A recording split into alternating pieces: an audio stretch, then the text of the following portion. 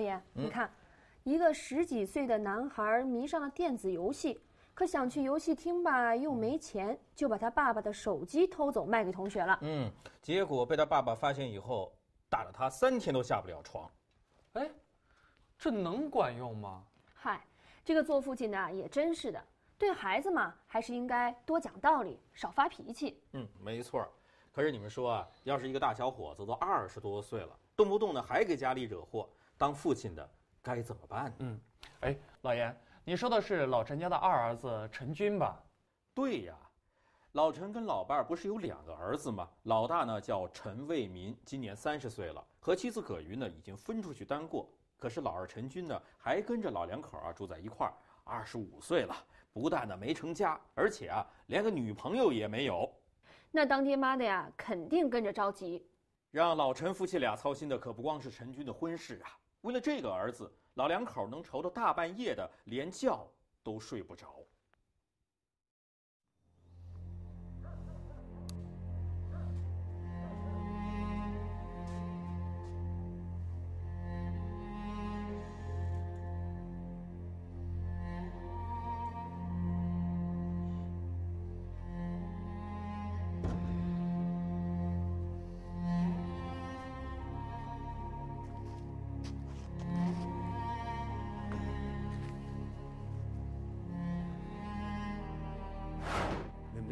到这店里来买烟买酒，十回有八回不给钱，赊账赊了有六七百了。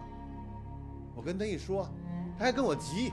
介绍对象这事儿可不是我不管啊，我已经给他介绍好几个了，可人家一听说是陈军，立马就不愿意了。爸，你得管管他，陈军要这样下去，不定给你捅出多大娄子呢。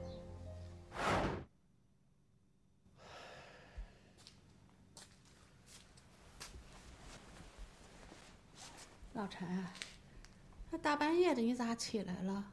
不睡了？陈军到这会儿还没回来呢，不知道又干啥去了。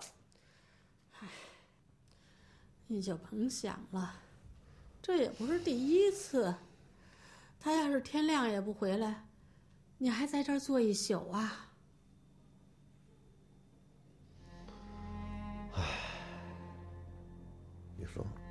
这孩子可咋弄啊？黑子，嗯，说这两天我手机咋这么背呢？昨天刚从张小叔那儿弄了几百块钱，跟你们玩了一晚上，又输光了。嗨，这赌嘛，肯定是有输有赢啊。那昨天输了，今天说不定能翻本呢，是吧？别翻了，我请你喝酒去。走走走走。哎，伟民，你看那不是你弟弟陈军吗？他又跟那黑子在一块儿呢。哎，陈军，啥事儿啊？哎，过过过过来。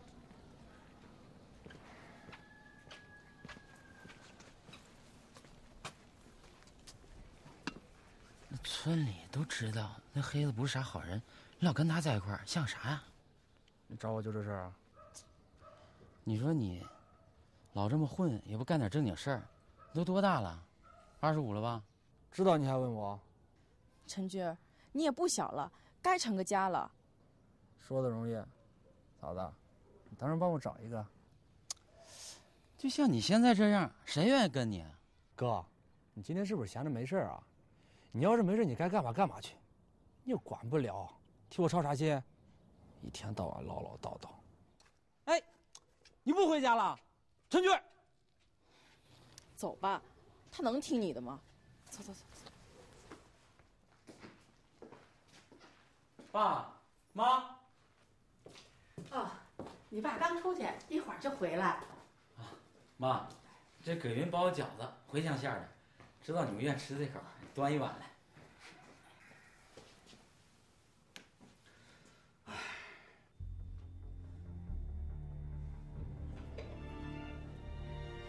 爸，给您端碗饺子。先搁这儿吧。老陈，我让你买那盐呢。气都把我给气糊涂了，我还哪有心思买什么盐呢？咋啦？咋了？咱们那个老二啊，又给咱们惹祸了。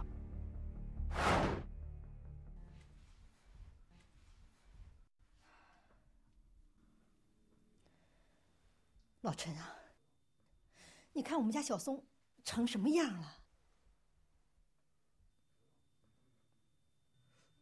哎呦，你这是咋搞的呀？还不是你们家陈军打的？这啥时候的事儿啊？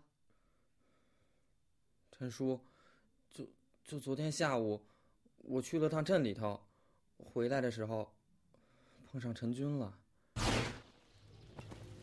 哎，哎哎哎，张松，哟，你低头我都不认得你了啊？干啥呀？带钱了没有啊？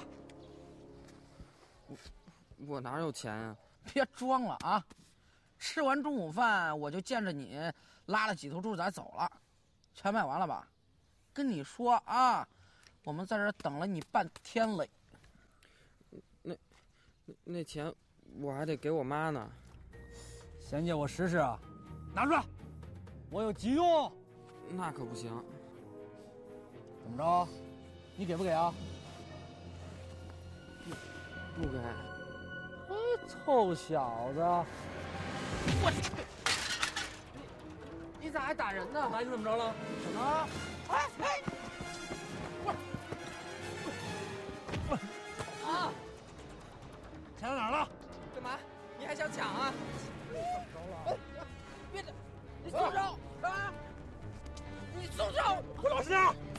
松开！老实松开！你不能拿走！松开！老师！这钱我先花着啊，啥时候想起来啥时候还你。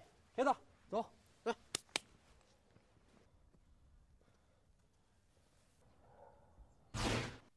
老陈啊，你看我们孤儿寡母的，养头老母猪下几个崽儿，花俩钱花也不容易。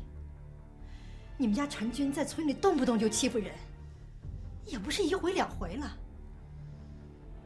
你是他爸，你要是管不了，我也豁出去了，我就只能找派出所去了。哎，小宋啊，他抢了你多少钱呢？七百，我卖猪的钱都让他抢走了。啥？他抢了人的钱还打人？哎哎妈妈，哎哎哎，你你你这咋了？我有点头晕。哎，葛云，赶紧把妈降压药拿来。哎，哦，你说这老二啊，怎这么不让人省心呀？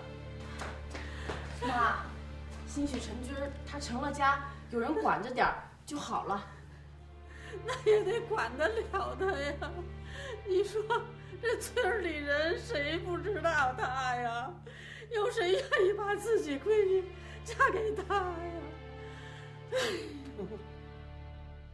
哎，来来来，陈娟，你哥爱说啥说啥，你别理他啊。喝。我哥就是个老实人，在家种点地儿，挣不了几个钱，撑不着也饿不死。像他那样活着有啥意思啊？嗨，这年头啊，老实人吃亏。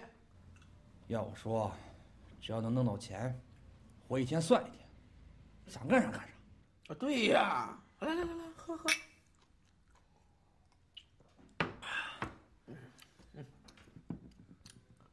哎，陈娟，要不今儿晚上咱们接着玩？我没钱了。嗨，你就不能回家找你爸妈要点啊？他们也没钱。我就见过一个六千块的存折。六千块钱？哎呦，你爸妈可是咱们村里出了名能省着花的人，咋可能只有六千块钱？肯定不止这么点钱，没准还有别的存折呢。啊，说不定啊是怕你在家里翻出来，他根本就没放在家里，兴许都放在你哥那儿了。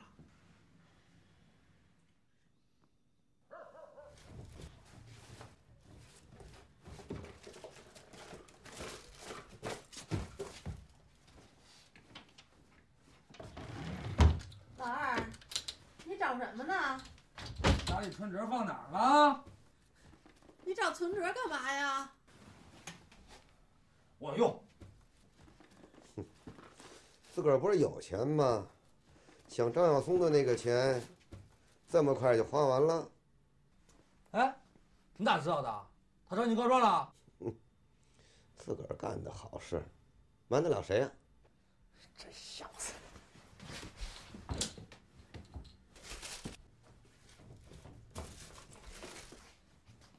爸，存折呢？赶紧给我！存折啊，那上面的钱都是我跟你妈辛辛苦苦攒的，不能给你。赶紧给我，我有急用。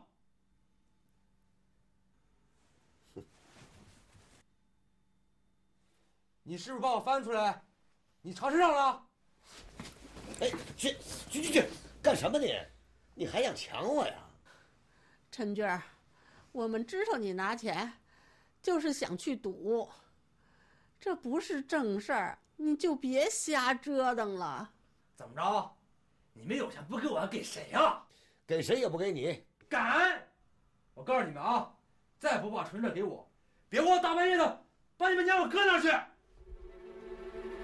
赶紧给我，要不然真给你急了啊！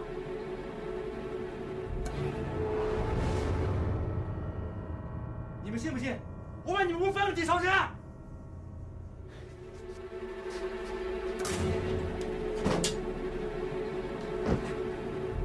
你行了，老陈，别理他。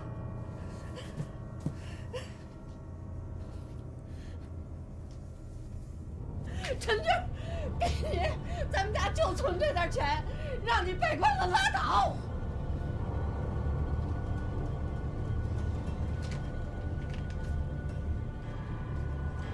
咱家不光就这六千块钱吧？是不是还有别的钱？你们放我哥那儿了？我告诉你们啊，我不管咱们家有多少钱，这钱不能光给我哥，得给我留一半儿。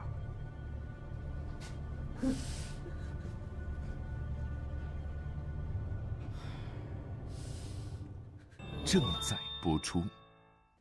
你们说，有陈军这么个儿子，老陈能不生气，能不发愁吗？虽然呢，老陈夫妻俩都被呢陈军给气坏了，可是陈军呢根本就不管父母的感受，不到一个星期啊，这六千块钱就被陈军呢给输光了。哎，老严，陈军可一直就怀疑他爸妈把钱放在了他哥哥嫂子家了，他这手头一没了钱，还不得去找他哥？陈军呢是去找他哥了，不过他去的时候啊，他哥陈为民啊不在家。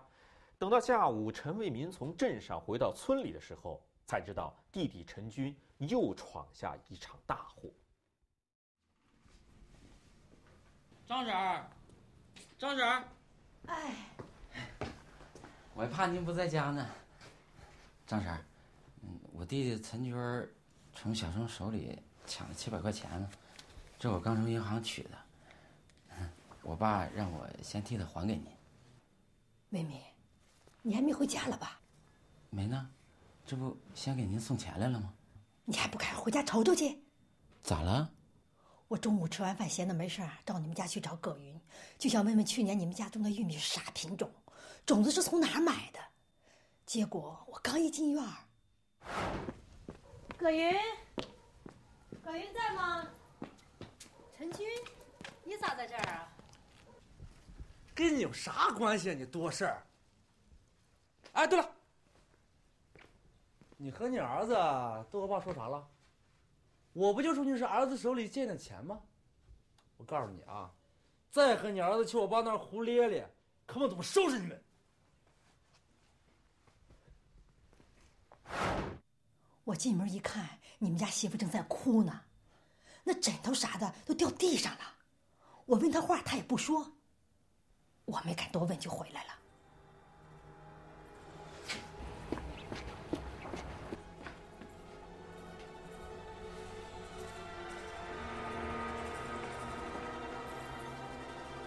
葛云，这咋了？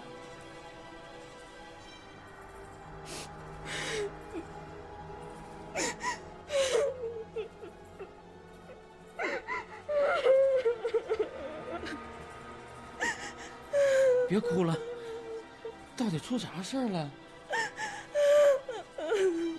你倒是说话呀！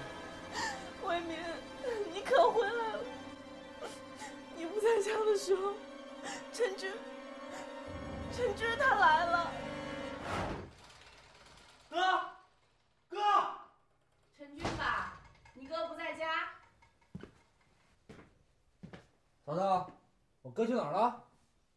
去镇里了。他既然不在家，问你也成。有事儿啊？我爸我妈中午我们家放了多少钱啊？你爸你妈啥时候把钱放我们家了？真没有？没有。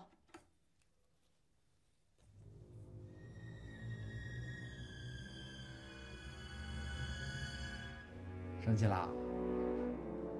我就是随口一问，没有就拉倒呗。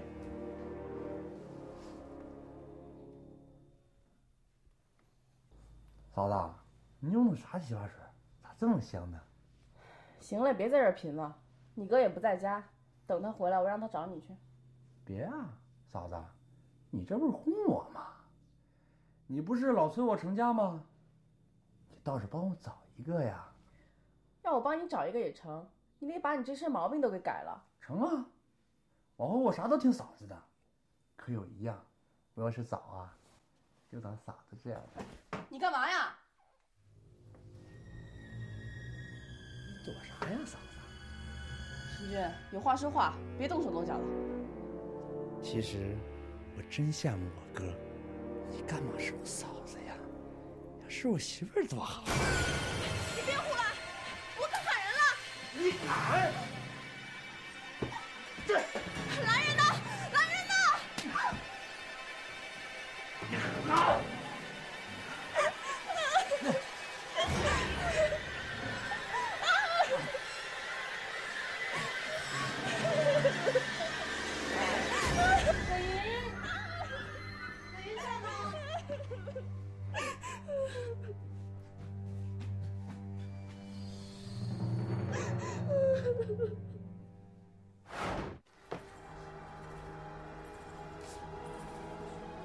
张婶赶来了，还指不定，指不定出什么事儿呢。我找他去！我妹妹，你不能去。咱爸咱妈都这么大年纪了，妈又有高血压的病，怕生气。况且这事儿，这事要是传出去，咱以后在村里，咋还有脸见人呢？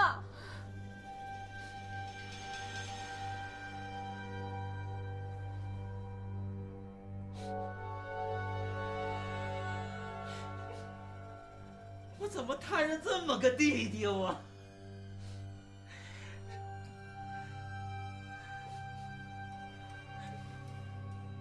跟你说，这事儿就这么忍了？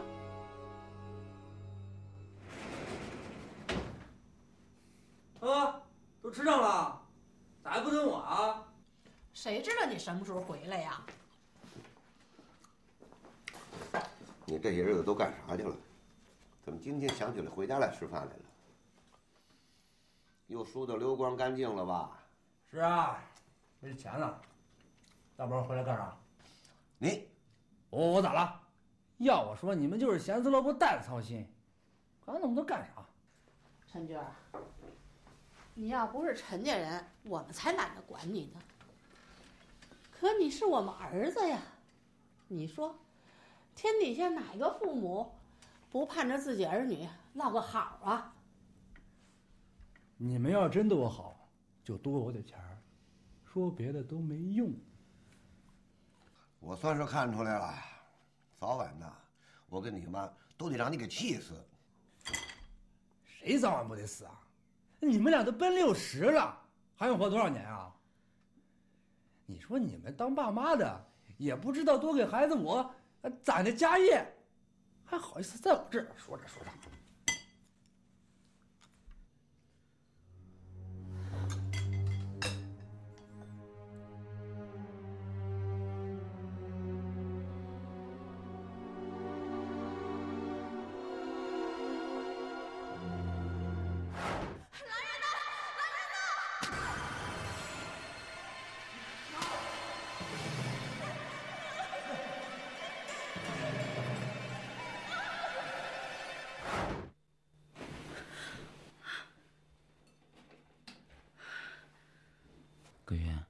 做噩梦了？魏民，你说往后陈军儿会不会趁你不在的时候，他还来啊？我一直没睡着，也琢磨这事儿。他要是还来，那可咋办呢？你也不能天天啥也不干，就在家守着吧。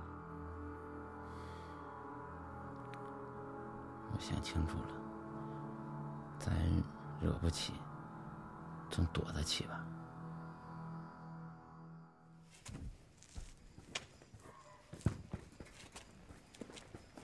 妈，爸，哎，陈娟呢？哎，你提他干嘛呀？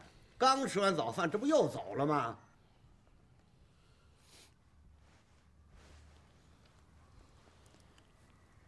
爸，妈，今儿个我和葛云过来，想跟你们说，我们想去外地打工。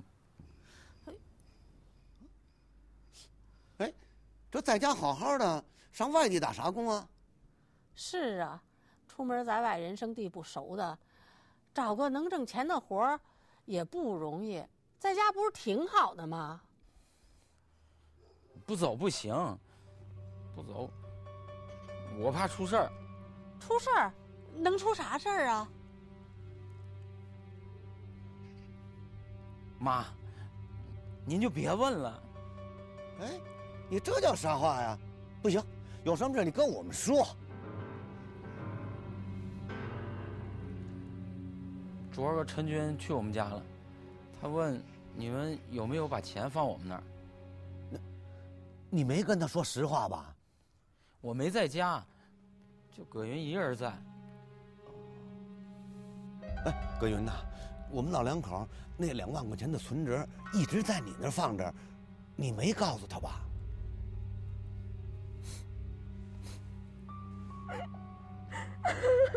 哎，咋了？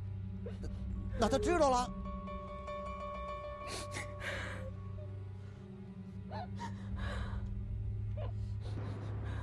哎，葛云，他怎么着你了？爸陈军他欺负我。啥？他他咋能干这事儿啊？哎，哎妈，哎妈，哎妈，妈，都怨我，早知道不应该跟妈说这事儿。妈，你妈上医院呢。哎，正在播出。陈老太太被送到医院以后啊，经过检查，她是突发性的脑溢血。脑溢血可有生命危险啊！嗯，哎，老严，陈老太太不会就这么被陈军给气死了吧？幸亏啊，出血量不大，而且抢救及时。经过一个月的住院治疗后呢，陈老太太出院了。可是她回家以后听到了一些话，又把老太太的心呐给揪了起来。妈，这往后不管我弟弟再干出啥事儿来，你可别再往心里去了啊！唉，还不如那会儿一口气儿上不来，死了算了。这住这一个月院，拖累你们不说，还把我和你爸偷着放在你那儿攒的那点钱都花没了。老伴儿啊，别这么说呀，那钱没了就没了吧。真要是连命都没了，那要钱还有啥用啊？是啊，妈，你就放心吧。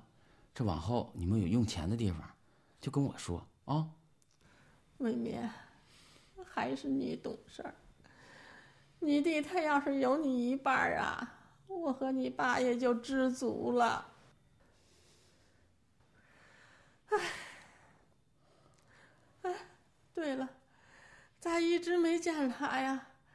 他不能又惹了什么事儿吧？事儿倒是没惹，可他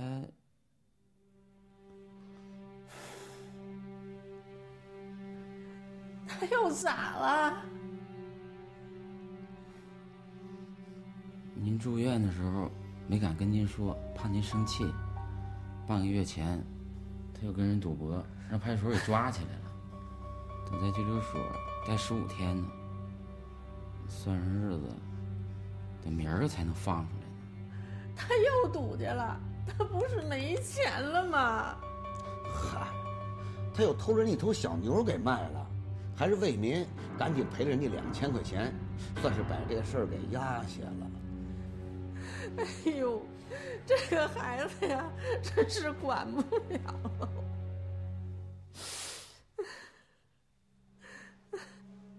这回从派出所出来，兴许能改点儿。我看够呛。那他要是不改呢？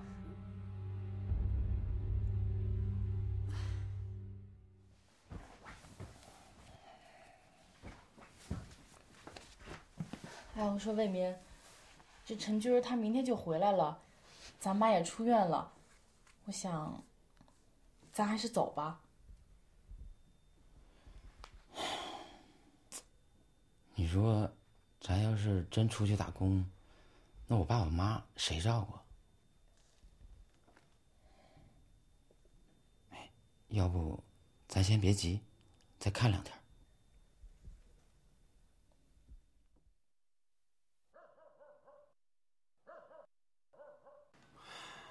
啊！哎呀，这这十几天可把我整惨了啊！这十几天在里边，你就没明白点啥？哎呀，警察动不动找我谈话，我都不爱听。那你就打算这样混下去了？你们少管的事儿行不行啊？可你也不能总这样啊！你还嫌给家惹的事儿少啊？行了行了行行了，你们就当没我这儿子，我也没办法，不就完了吗？哎，你们到底有没有把钱放到我哥那儿啊？你怎么就认到钱呢？陈俊，你可别怪我没告诉你啊！你要是再不改，你别说我跟你妈可真不认你这个儿子了。你爱认不认？我们以为这回你出来呀，能改得好一点了呢，想不到啊，你还是这个德行。那警察就不该把你给放出来。爸，我怎么了？我不就是没帮你干活，爱打打牌，至于吗你？这些年你干的坏事还少啊？在这个村里头，你把我这个老脸都给我丢尽了。可这村的男女老少有一个不恨你的没有？你说说，那小卖店里头你干人钱不还，抢人家孩子钱你还把人给打了，偷了人家的牛你还给卖了，还有，还有你对你，嫂子，我咋了？你以为我们不知道啊？你说那天你去你大哥家，就你嫂子一个人在家，你都干什么了？最后不都啥也没干成吗？再说了，这嫂子和小姑认我怎么没啥？混账东西！你说的这还真人话吗？啊！你敢打我，还反了你了呢！是，打我是吧？你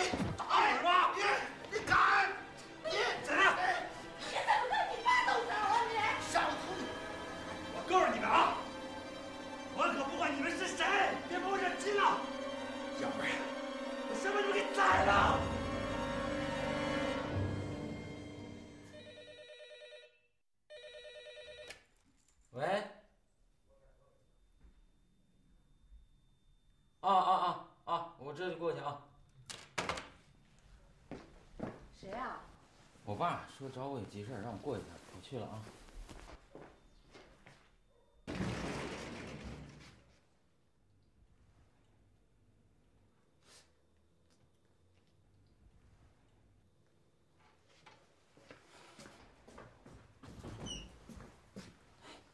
爸妈，我弟弟回来了，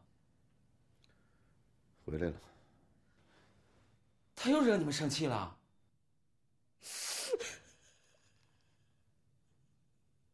你是不知道，一边吃着一边喝着酒，最后还跟你爸动了手。是，打我是吧？你打我是吧？你你敢？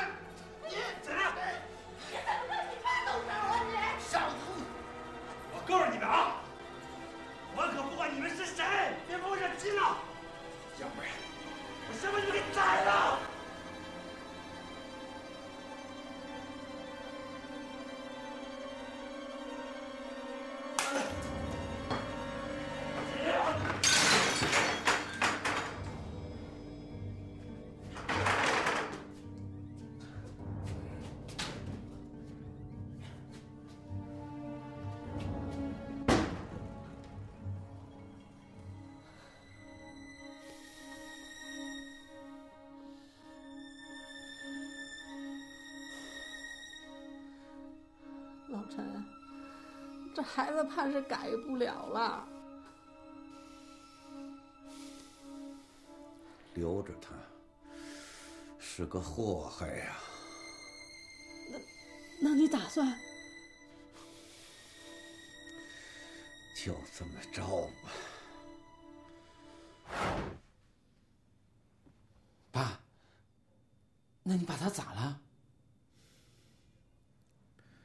自己看去。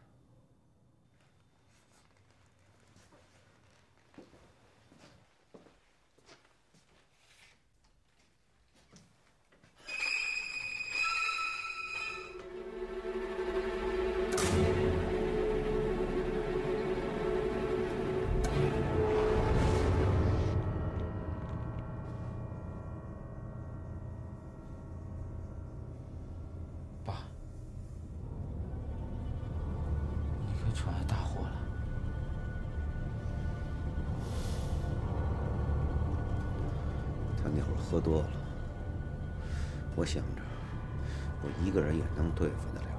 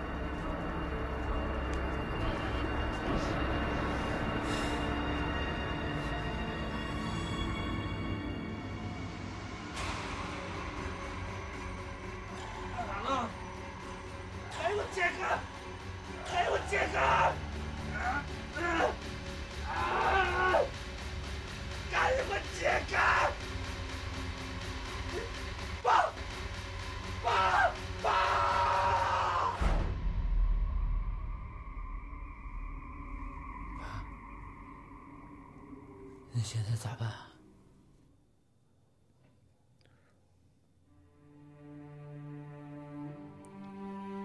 我想好了，那是我亲儿子，是死是活，我说了算。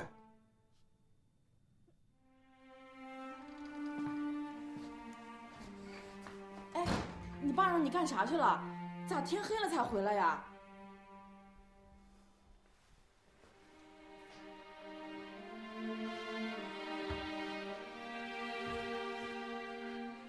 是说话呀！我陪爸上公安局。上那儿干啥了？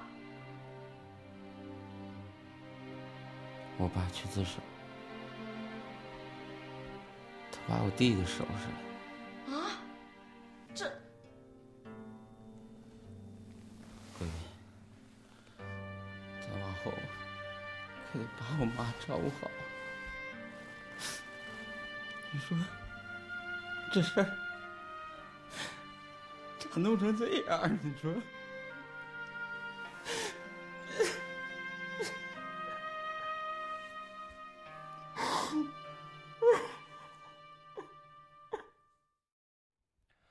嗨，我要是陈为民啊，我也想不明白事情啊为什么会弄成这样。哎，老严，老陈去自首，恐怕就回不来了吧？老陈自首以后啊，被关进了拘留所。他们村里的人知道老陈的事情以后啊，都认为老陈这是大义灭亲、为民除害，不应该啊受到法律的惩罚。村民们呢还联名写信啊，要求不追究老陈的刑事责任。不追究？哎，这怎么可能呢？老严，这个案子杜老师怎么看呢？关于老陈会受到什么样的处罚，咱们呢来听一下杜老师的意见。本案中老陈的儿子陈军确实做了很多坏事，比如说他多次拿小卖部的东西不给钱，他经常参与赌博，还有呢，他拦路抢劫了张小松卖猪仔的钱，他还打骂父母，甚至企图强奸他自己的嫂子。应该说，陈军确实应该受到惩罚。于是我们看到陈军的父亲老陈站了出来，亲手把儿子处死了。而且不少村民也认为呢，老陈的这个做法是大义灭亲。但是我们一定要认识到，我们平常所说的大义灭亲，在法律上并不是都能得到允许的。法律所允许的大义灭亲，通常包括，比如说发现你的亲属有违法犯罪行为，你向司法机关举报，或者呢把犯罪的亲属呢扭送到司法机关，但是绝不包括动用私刑。结束他人的生命，因为我国法律规定，公民的生命健康权是受法律严格保护的，任何人都无权对他人私自进行惩处，只有司法机关才有权利将有罪的人依照法律规定的程序予以定罪和处罚。就本案而言，陈俊呢虽然有罪，但他的父亲老陈也不能认为说，儿子是我生的，所以他的生死呢。由我说了算，更不能私自将他处死。因此，老陈呢，在陈军醉酒以后，故意将他打死的行为，仍然触犯了刑法，构成了故意杀人罪，应当承担刑事责任。不过，在量刑方面呢，应当考虑到老陈的行为啊，确实是出于义愤，因此呢，主观恶性比较小，对社会的危害也比较轻。我认为应该按照情节较轻的。故意杀人罪来处罚，依照我国刑法规定，应当在三年以上十年以下有期徒刑的幅度内来量刑。